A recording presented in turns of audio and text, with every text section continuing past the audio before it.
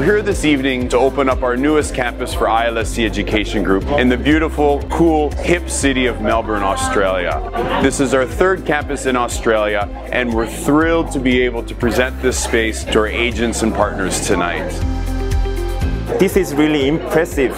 Finally, ILSC opened Melbourne campus. I love this environment and now we can have better option to our students as well. Actually, ILSC is one of our best partner and also number one priority option for our students as well. Cheers. It's good that student has another option when they plan to come to Australia. Very modern, beautiful campus. I believe the student will really like it. Thanks for your support already. It's been really amazing. Uh, really excited. There's great energy in the campus. You guys wanted us to come here to deliver a transformative learning experience. That's why we're here.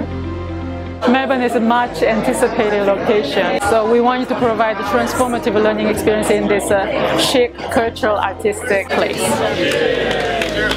Melbourne is our ninth school. We have about 5,500 students around the globe. Our shared vision is our students' success. We actually encourage each other to become better, and I think that's what a true partnership is about.